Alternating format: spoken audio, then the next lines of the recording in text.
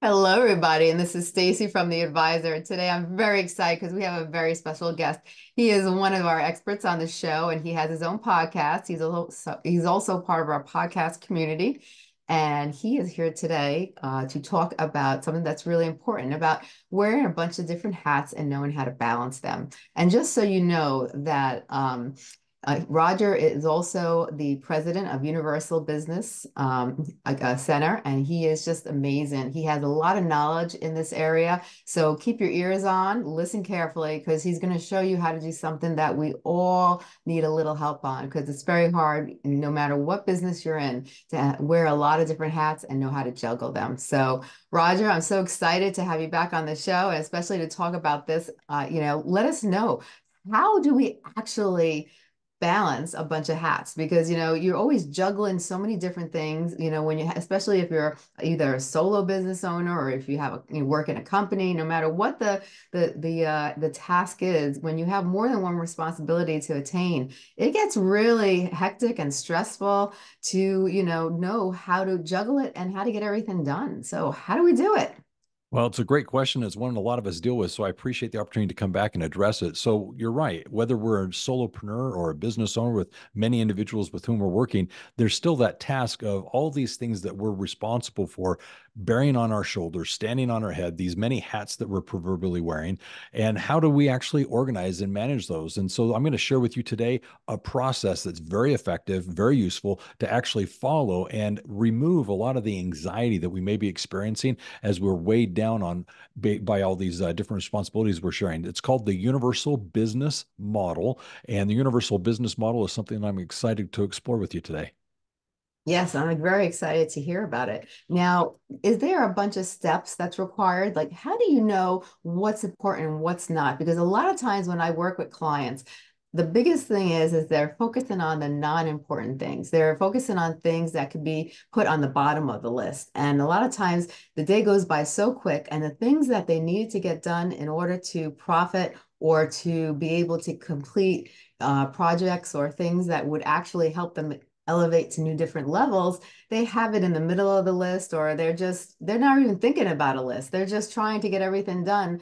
And the things that are really important so they can make money and profit and grow they they don't get those always accomplished. And then they it puts the side to the next day. And then before you know it you have other things you have to attain. Then you have the things from the day before and they're wondering why why are we lacking in this area? Why don't we have enough money in this area? Why isn't this coming in? We made this much money last month but we're not making that this month you know and so you know how do how do people know how to prioritize and really know what's important and what's could wait and be put on the side a little bit well, the first thing that we're going to do that's part of the universal business model is what we call mapping the business. Mapping the business is a very simple process. What we're basically trying to do is whether it's our personal life or our business life, and we're going to focus on business today, we're wearing all these hats. And we need to actually move from being overwhelmed and anxious to at least being whelmed. Well, let's just be whelmed and we'll be happy. So the yeah. point is, is we're going to go through this mapping process by first of all recognizing that every business, regardless of their size or their age,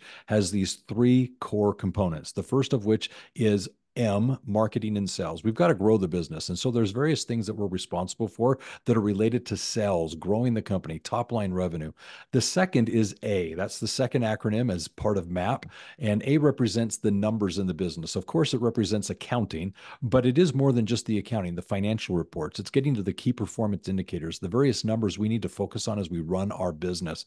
And then the third is P, production. It's what happens after the sale. And there's two sides to this coin. First of all, it's with with regards to the customer, the client. It's our relationship with them. What did they buy? What are they expecting? How can we deliver it? How can we wow them in this experience? And then it's also the internal communication that's going on within the organization. What are we doing to coordinate so that we're efficiently working and taking care of the client, doing so profitably? So if you've got mapping the business, marketing and sales, accounting and production working together, that's where we're going to find the profit. When these are kind of separate and autonomous and not collaborating, they don't function uh, together so that they're profitable. And so what we're going to try to do is take these these uh, stacks of hats and responsibilities and put them into one of these three categories. Is this thing a project, a task, a thing that I need to focus on related to growing the business? Is it regarding running the business? Is it regarding taking care of the customer and getting the work done?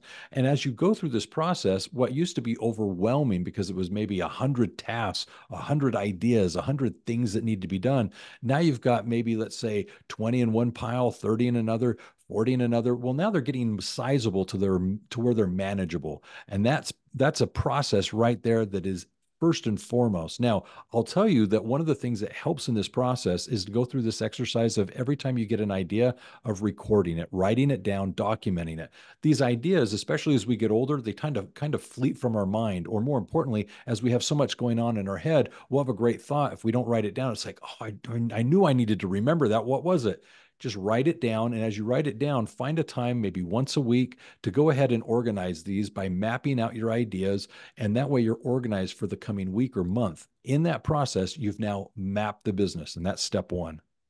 Wow, I like that. I like that. And I especially like that you know you you broke it down into three things growing the business running the business and taking care of the customer three important aspects and, and three things that you know you can you can kind of separate and you can also you know try to if is it good to like maybe if you have all three things to do and you're trying to juggle these and maybe not try to overwhelm yourself and do all in one group all at once, but maybe say, okay, let me see if I could do the first five of here, maybe do the first five of here, and maybe do the first five of here, or, you know, now you have it mapped out. It looks a lot more organized. You see what needs to get done. You know, how much time do you spend with each group? Is there you know is there a particular amount of time that you should invest in each one? And you know in order to make it productive and help the, the business grow properly well, we're not to that point yet, but you're right. We want to figure out where we need to spend our time. But in order to know that answer, we've organized everything, but we still have to prioritize them. And so okay. now that everything's organized, we're going to prioritize these lists because clearly in the marketing, the accounting, production, there are things that we have control over. There are ideas that would be nice, but we can take care of them in six months. There are things that are urgent that we've got to take care of today or tomorrow. So we've got to prioritize what does need to take place as regards to, or in regards regards to marketing and sales, accounting, cash flow, production, taking care of the customer. So once we prioritize these, it becomes a lot more apparent okay, here's something I have control over, and it will have a large impact, an immediate impact, a sizable impact. Knowing that, I can then take of the 20 things in a certain category, such as marketing and sales, and I can have rise to the top the one, two, or three things that I need to get done today, this week. That's very important because through the prioritization, now I don't worry about the other, let's say, 18 things in the list. I have two things now to worry about. So the list originally began with 100 things on my head that I couldn't organize. Now they're organized into these areas, and I've got two that have risen to the top, let's say, in the marketing and sales area. Now I've got something I can work on, but it doesn't have to be me. That brings us to the third step, which is although I've prioritized it, can I delegate it? Is it possible that I can either give it to an employee, maybe even outsource it to another company or service? By doing so, it doesn't have to be me that does it. All of a sudden, now it's getting done, but I was able to put the priority on it and emphasize it with whomever's necessary. So once I've organized, I prioritized, and after prioritizing, I can delegate. Right. I like that. You know, that's one of the biggest problems that a lot of business owners I think have is that they try to do everything themselves. And they, the biggest thing I hear from people is like, but I have to do it myself because they won't get it done the right, the way it's supposed to get done. And they they can. It's just that people have to be more flexible and realize, I think that everybody does it differently. But as long as you have the the outcome that you have, you know, that you need at the end, it doesn't matter how they do it if they do it differently than you, as long as you're getting the results, correct? That's true. It's the results that matter. It's not so much the process. It's it's a much lengthier conversation, but I'll simplify it by saying this.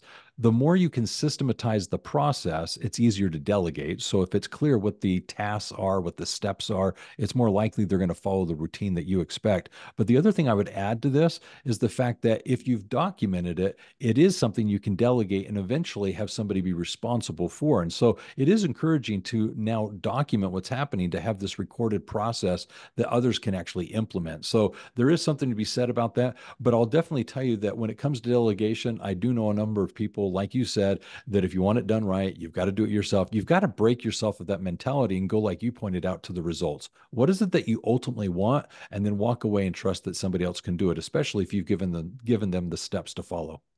Right, exactly. Yes, I agree 100%. And, and that, you know, I've had that conversation with so many people and it, I think it's it's breaking that habit in their head, you know, because I think people get so used to a routine that it's hard to break the routine, you know, because they've done it for so many years a specific way that, you know, but things change. If you ever like, I'll, you know, for, like if you think of kids in grade school, like if your kids come home from grade school and they have mathematics homework, you know, the way we did it is not the way they do it, you know. That's right. you know, my kids are growing up, but I remember them coming home from school and my my child needed uh they they needed help with their math homework and i did it the old school way the division and they looked at me and they got all upset this is not the way we're supposed to do it you know even though we came out with the same answer you know yep. yeah, and then you go get your abacus out and you try that for a minute, and that wows them. So no, yes, yeah, so there's different ways to skin the cat, and so we want to go ahead and focus on what is the end result that we're looking for here. Skin the cat is probably not the best analogy, but I gave you that one. There you go. so after after you start to delegate what would be the next thing that you start to do? So now we we we we've looked at the hats we've organized them we've we've um, delegated them to different um, people who could handle the tasks. Uh, what would be the the next step that we need to really uh, focus on well, the big part of the universal business model is once we've mapped the business and we've gone through this process of organizing, prioritizing, and hopefully delegating, it's to step back as the leader and actually now work on the business. And the universal business model now is affording us this opportunity to prioritize what needs to be happening in the organization. So, in order to work on the business, it's broken up into three segments short term, midterm, and long term. And for each of the three areas marketing and sales, accounting and production there is a short term, midterm, and long term objective. And so, what I'd like to do is actually go through each of these with you, if I may. Is that all right? Definitely. I would love all right, to hear. So, let's start. Let's start with the short term. The short term is ideally what your employees are focused on. So, if you're a solopreneur, that means you. But if you're actually an organization that has employees, these are the people that are involved in the day to day operations of the business. And there's three things that need to be taken care of as it relates to marketing and sales. It's the philosophy that nothing happens until you make a sell. It is the emphasis of right now, today, we're focusing on sales what can we do right now that will actually bring in revenue? And if you're in that marketing and sales mindset, you're always going to have something in the pipeline. And it's very important that you understand that every day needs to consist of something that you're doing that's marketing and sales related. Are you actually doing something that will bring in revenue? The second thing is for accounting, it's cash flow, cash flow, cash flow.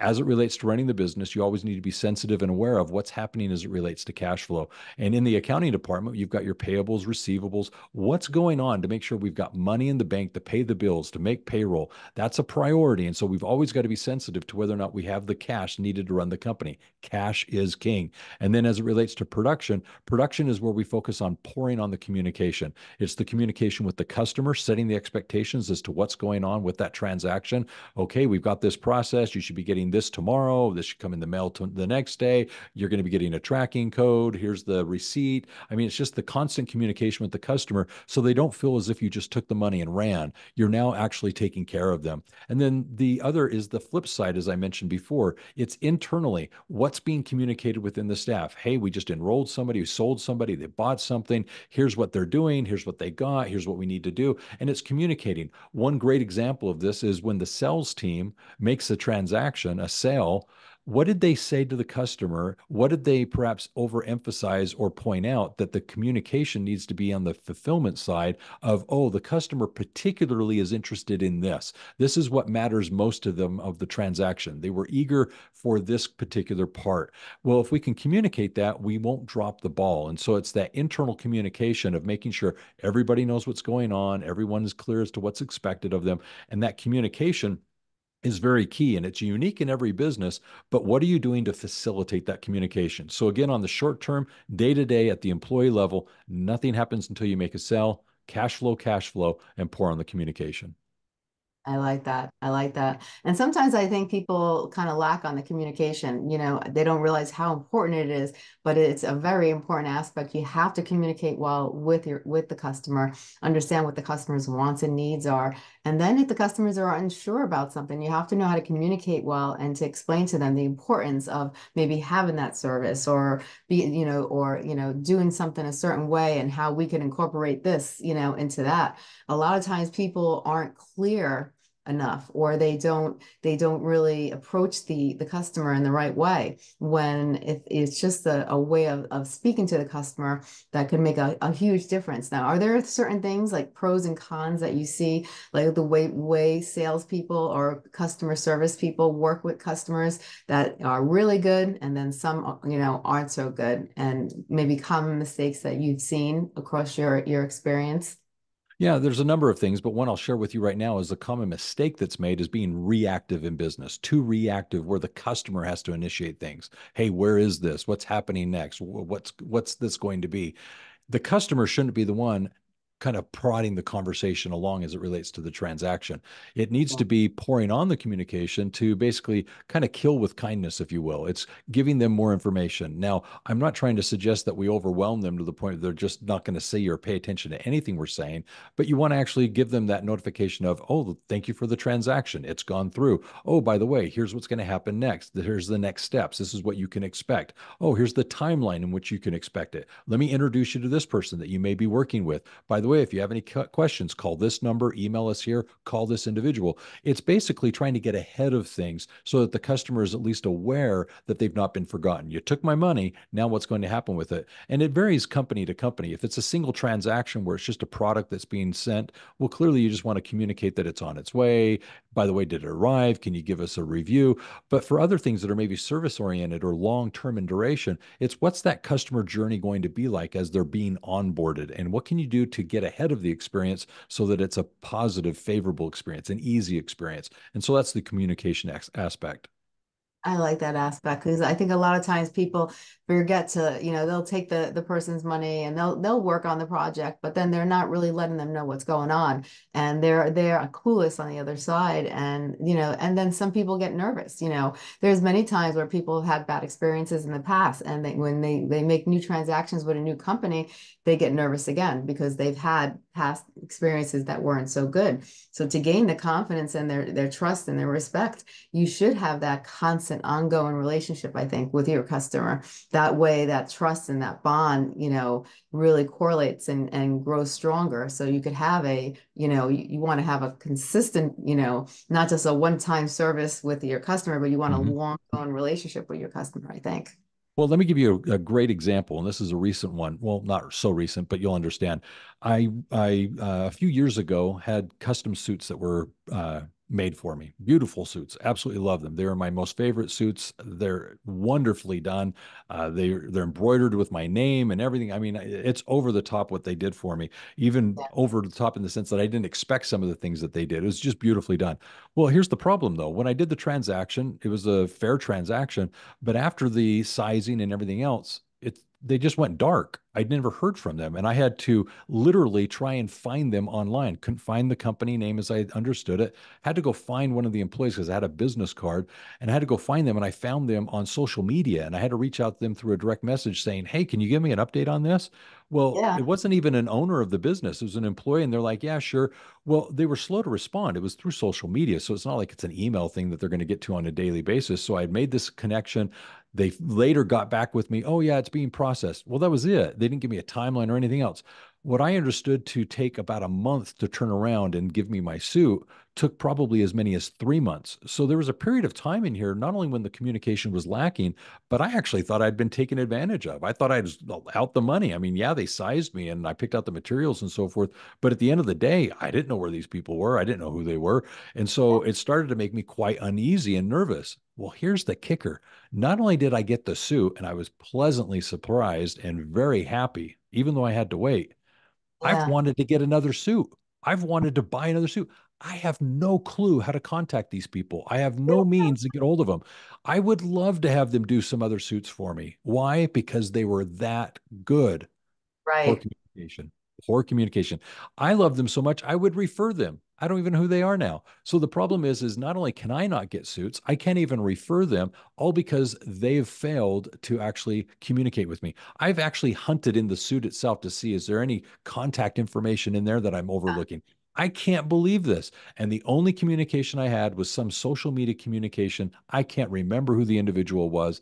That's horrible. But again, a testament to the fact that poor communication can really hurt your business model. Oh yeah, definitely. That's a great example. And I've seen I've seen things like that all the time. And it's a shame because businesses, you know, so many businesses can really thrive because they do have a good product, but they're their customer service stinks. And that a lot of times, if their customer service stinks, that will draw a customer away. They'll be like, you know, even though they like the product, I don't think I'm going to do it again. Yep. Great tailor, great materials, wonderful suit. I can't get a hold of them. And I'm sad. It was a great deal. Took a lot of time, lost them, but it was a good deal. So Right, right. Yeah. No, it sounds like it. Oh my goodness. But it's a shame because you see that all the time. You, you know, and it's it's it's really sad. Now, when you at these when you do these steps, are there other steps that are also included in in in, in mapping out the um There uh, are. Uh, so there's basically nine total. The first three are the short term, right? That's at the employee level, the day to day. The next oh. is at the quarterly level. So that's mid management. Management, when you have them involved, they're looking at things differently than the day to day. They need to be a little bit more forward thinking. They need to be looking out for tomorrow. And so we look at it from a monthly or quarterly basis. And here are the three that they're responsible for as it relates to the business.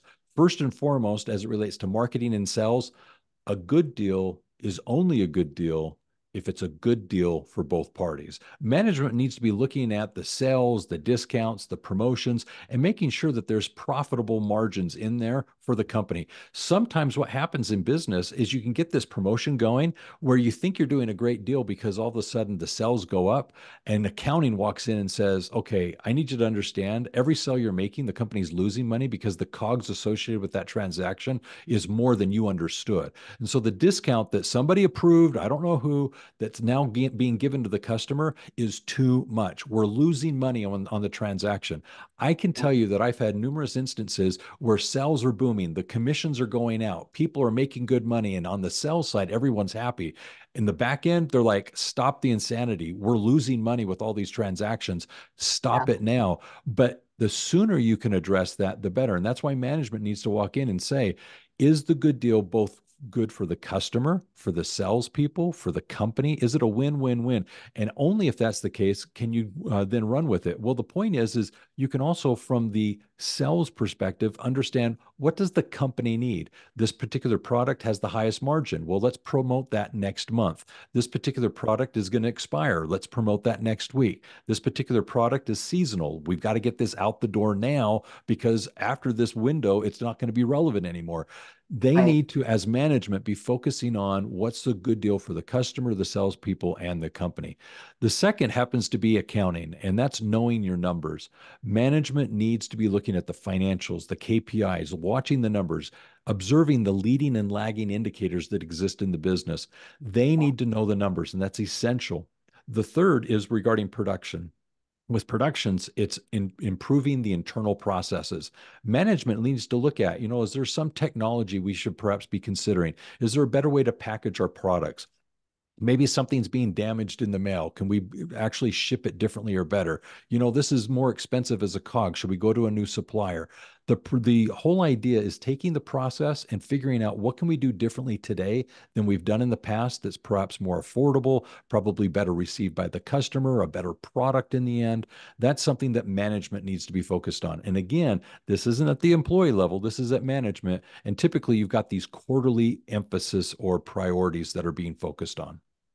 I like that. You know, and that's another thing is that a lot of people they they they have they have prices and they put these discounts and they might be old prices and they don't realize you know they put these these bigger discounts on and you're barely making any profit. And, and it's really you're losing money by by making this deal. And it's causing it's causing probably for some time for depending on the product or the service it's causing time to do this. And and you're really you're not making any profit you know and you're sometimes losing money doing doing it.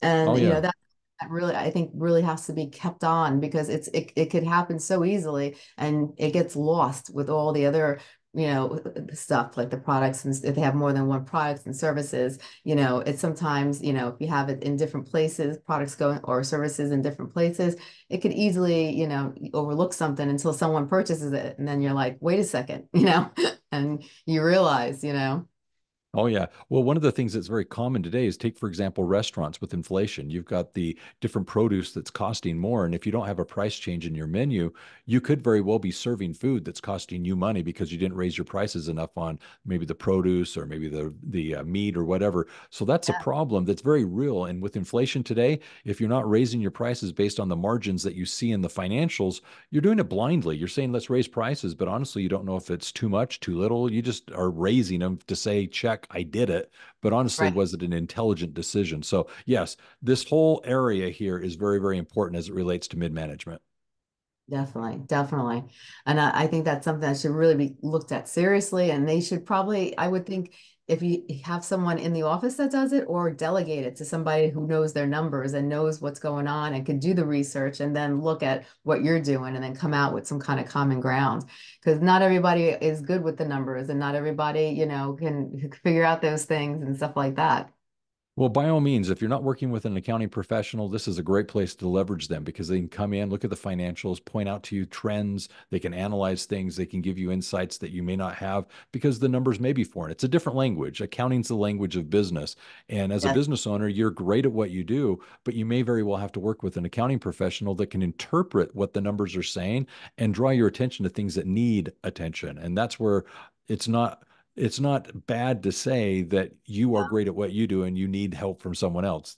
The accounting is typically the first thing that's outsourced in order to run a business successfully. It's the first thing you say, I don't have enough work to hire someone, but I definitely need to bring in an expert.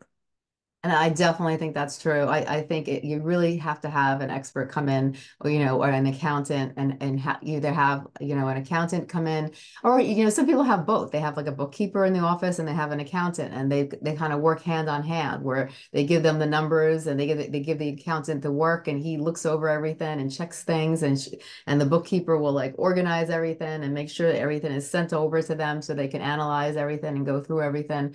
And it's not it's not an easy task, and it's not for everybody. I could tell you one thing. When I was in college, I I think I went up to accountant three, and I was like, "Whoa, okay, I had enough."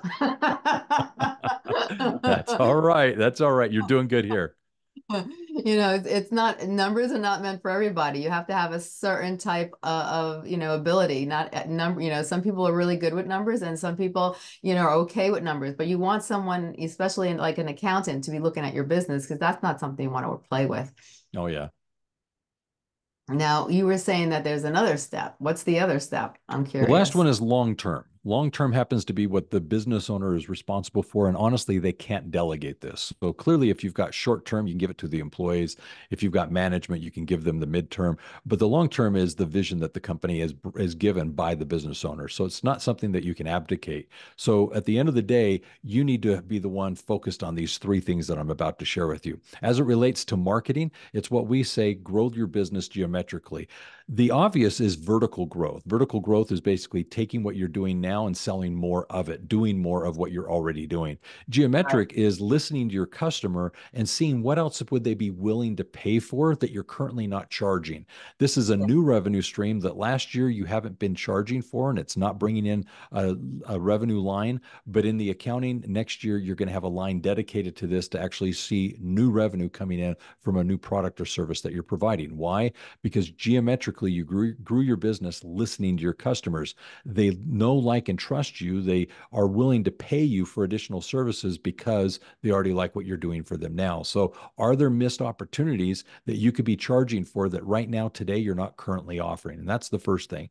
Now, as it relates to accounting, accounting then becomes planning for tomorrow as you grow your business, as you're looking to expand, hire employees, maybe open a new location, it's going to take revenue. It's going to take uh, basically cash flow. So, do you have the line of credit available with the bank? Do you have a lending option? Do you have uh, access to capital? What do you have as you're needing to grow the business? And as you're planning for tomorrow, what do you see as the needs? Have you gotten the numbers you need to forecast and budget accordingly? And so, it's really as a business owner planning for the next year, the next two years. What are the things that are going to need to change? We're going to need to buy a new vehicle, a new machine. We're going to have to upgrade software. We're going to need to hire a hire a new manager. We're going to have to hire the two new salespeople.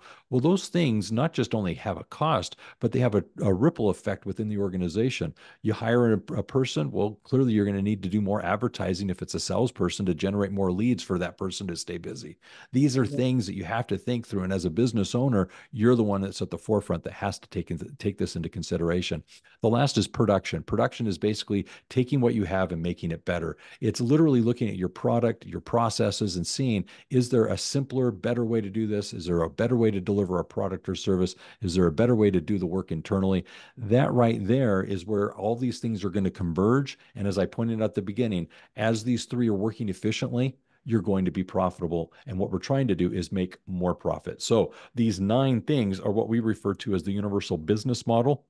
They are the nine principles to make your business profitable.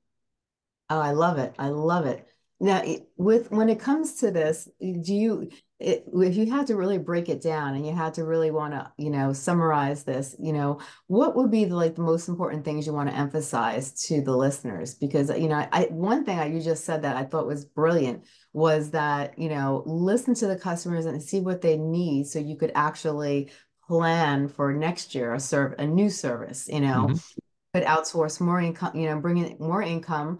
And also it, it's something that you may not have been thinking about charging for but you have lots of people who are willing to do it because they either don't have the time or they don't want to be bothered. They rather have someone else just do it for them and you know i think a lot of people sometimes overlook that and they don't and they don't really uh, listen to the customers. And they could be probably be bringing in more services and more money into the company if they if they listen better Oh, yeah. Well, think of it this way. I mean, a great example of this would be McDonald's. Years ago, there was this idea of supersize. And so the question was could you have eh, the cashiers at the time of the transaction just ask, would you like to supersize that? Would you like to go from the small fry to the large fry? Would you like to go from the small drink to the large drink? Just a dollar more, that kind of a thing. Well, they realized just simply asking caused revenue to go up, sales to go up, and it was simply because they put into their process this mere ask. Well, how did they know to offer larger fries or offer a larger drink? It's because they were listening to their customers. So what mm-hmm. we're doing is you're paying attention. And it wasn't that they didn't see the need. It's just at first you're probably looking at simplifying. I don't know if you've ever, you know, noticed this, but some restaurants simplify it. There is only one drink. There is only one size. And that's because back in the back, they're not having to have different size cups. They're not having to have different portion sizes. They just kind of streamline the process. Well, yeah. if you're streamlining, sometimes you're missing opportunities. And it's like, you know, maybe we could actually offer this and in doing so, generate additional revenue. But that's the visionary approach to business. It's not your line person that necessarily is going to come up with this. It's you listening to the customers as a business owner to say, here's how my company can adapt and meet the needs of my customers, and they'll pay more for this new thing. I think that's a great idea. And, and also uh, the last comment that you made too is is planning for the future, looking at the trajectory and, and looking at the next two years maybe, or looking at, you know, and, and start planning. I don't think a lot of, a lot of companies that, you know, people that I know that own companies and they, they or I should say small businesses, um, a lot of, a lot of them are so immersed in what's going on right now that they're not really planning for the future. They're just figuring out what's going on in the present and what they need to do right now.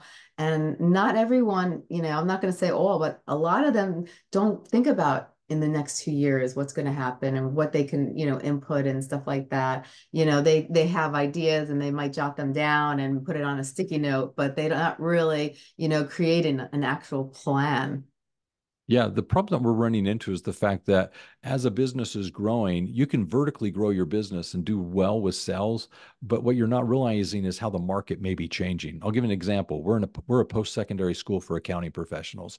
As a mm-hmm. school, we started 40 years ago in a traditional classroom environment. You come to a class, sit at a desk, listen to a professor or a teacher teaching from the front of the classroom. Today, all of my campuses are closed. We closed all the 22 locations, they're closed. All the training we provide now is online. Well, from that initial experience, if we were stubborn and closed minded enough to say, no, we're a school and a school is traditional, we have classrooms, if we were going to be that, we would be out of business today. It was the fact that we evolved and changed with the times to realize that we could deliver the content, the training online. We could offer people the ability and flexibility to do the classes when they wanted to, where they wanted to, as quick as they wanted to. Well, that affordability only came because we adapted. And if we were listening, we would adapt. If we weren't listening, we would be stubborn and say, well, no, this is how we do business. It's a classroom, there's chairs, come sit down. Well, that would be the death of my company as it is. So we've evolved. We're not the same company. Uh, the I'm the third president of the company. It was not uncommon for the first president of the company to come in when he was retired to simply come into my office and simply say, "So what do you do here? He literally would look across the table and, or off the across the desk and say, "So, what do you do here in the office again? What what are you doing?" And it was simply because he had been removed enough from the business model that he didn't understand how we were making money anymore as a company. That right. needs to be the evolution you experience as a business. How are you yeah. different tomorrow than today? Because the market is changing, and those who change and adapt will thrive.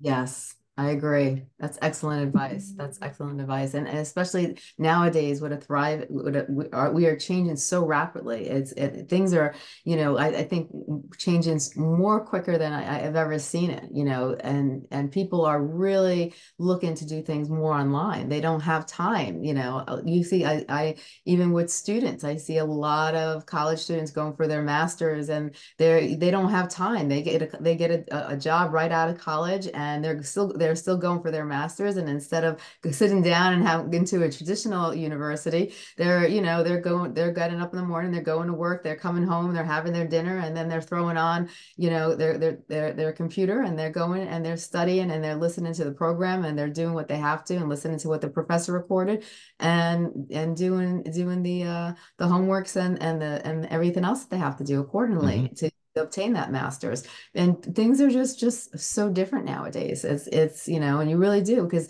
that's one problem i see is that i've seen great companies and great and great small businesses that are have so much potential. You go in there and and they are doing great but they could do so much better if they move more towards the future and the and the way things are going. They're still stuck back like a, a, decade ago they're still doing things the old school way you know and it's like if they only change things up a little bit and start to move a little bit more towards you know 2024 they could probably make so much more money yep you've got to be willing to change and adapt Yes, that's and that's that's that's perfect. Change and adapt. You know, we should make that our slogan. You know, change and adapt.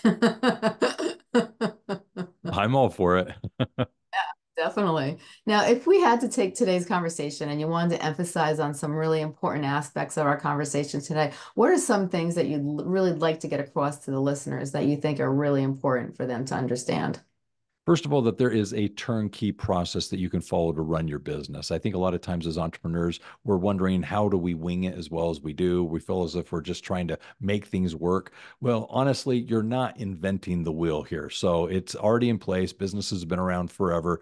What we need to do is take tried and proven principles and apply them in our business. And that way we can apply what does work to our situation. And so this is essentially a universal business model. It's one that you can apply in your company and do so successfully successfully because what it does is it allows you to focus on the things that need your attention, whether it's short term, midterm, or long term. And so, this whole philosophy of mapping the business is meant to free you from the anxiety, the overwhelm that you're experiencing. It allows you to prioritize the things that you're doing, delegate those that you can, and then actually focus on the business as it relates to these nine principles that I mentioned. That's great. I, I think, you know, and one question that came to my head as you were summarizing everything that we discussed was that a lot of people, they do things differently. You have people that write in notebooks and they create mm-hmm. their plans in notebooks. You have some people who create sticky notes. And I know people that have sticky notes all over their office room, you know, yep. and then have people that use Excel and do different softwares. You know, what do you find, you know, when people are trying to organize their business, trying to map out their business and, and really prioritize what's important and, and you know really de- and delegate to certain areas and and really get everything well organized is there a specific way of doing it that makes life easier for the owner and the company and even the accountant that's helping them out yeah, so I've learned this over the years. I'm a big time management person. I'm a believer in block uh, block time management. And so when you block out on your calendar areas that uh, are for this task or another project, it makes it a lot more efficient. I, I, I basically have learned over the years that as I have ideas come to mind, it's best to uh, capture them on the calendar as to when I'm going to do it. And it allows me on the beginning at the beginning of the week to look at my week schedule and figure out have I prioritized correctly? Oh, this is something that I think is going to take longer and I give myself more time. Oh, I don't have time for that on that day. Okay, I need to move that to another day. You know what? This isn't pressing right now. I'm going to move it to next week that time management as I block th- things out allow me to go into each day with purpose and intent. And so I basically do that at the start of the week. And then every night when I go to bed, I look at the calendar for the next day so that as I go to sleep, I'm able to think about the things that I'm going to be doing the following day. And that way I also know where I'm supposed to be first things first in the morning. Oh, I've got this first thing. And so I'm not waking up in the morning and being surprised. Oh, what am I doing today? No, I went to bed knowing last night what my day was going to look like and what was the first thing on my agenda. So I find that I I don't feel as overwhelmed when I use this process because I feel as if I'm proactively putting in not only what needs attention, but the priorities in which I need to address them. I like that. That's very good advice because I think that's, you know, everyone has a different method, but I was just wondering, you know, what ones really, you know, from your perspective, especially now that you're an accountant, you know, every I don't know one accountant that's not well organized. They don't survive if they're not. Lots of deadlines, so time blocking. Time blocking yeah. works. Yes. So, you know, I was just wondering what was, you know, from your perspective, what you thought, but I think that's great. Now, what are the different services that you provide in your in your school? So, as a school, what we're doing is working with the owners of bookkeeping, accounting, and tax businesses. We work specifically with them to build what I refer to as the premier accounting firm in their area, offering quality accounting services. And for that reason, as a school, we're training their staff to provide quality bookkeeping, accounting, tax services, CFO advisory type services. So, my my focus, my niche, if you will, happens to be with the accounting profession. Okay. And what other services that you provide? Well, we do offer in a division of our company, Universal Business Builder, we have actually business coaching that we do. And so I do work with a number of business owners as a business coach, and I actually help them implement these principles that we've discussed today and a number of others over the course of a 12 to 18 month engagement. And it's in that process that I actually service them as their business coach so that they can ultimately do what I refer to as building value. It's an asset. Their company is an asset. And so we're trying to work on what we can do to risk mitigate and increase the valuation of the company. Excellent. Now, where can people get in touch with you? Love to connect on LinkedIn. LinkedIn is a great place for us to connect. So you can reach out to me there. Love to, you know, message one another there. But at the same time, you can go to universalaccounting.com.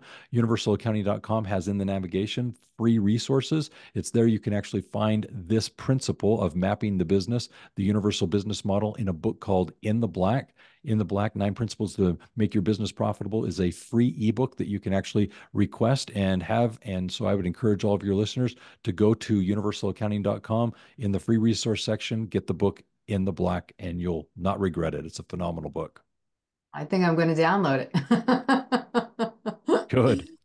This is this is amazing. I'm so glad you came on today to talk about this. I think this is something that really a lot of companies, a lot of businesses, a lot of solo entrepreneurs really need to understand and and and learn how to really you know go through the, the process because it is it is a complex process if you are not good at really you know understanding what's you know how to how to organize it how to your time management what's important where do i put where you know how to break it up how to delegate it you know how you know how do i keep track of everything and and so forth all the different principles that we went over today and I think today you went over it really well and you made it very, very easy to understand. So I think this was a great podcast today. And I thank you so much for coming on the show. As always, it's been such a pleasure. I love having you on, and you're just amazing. Thank you so much. Yo, you're very welcome. I appreciate the opportunity. And always remember this if it's about accounting, it is universal. I love it. Thank you so much, Roger. I look forward to talking to you again. bye bye.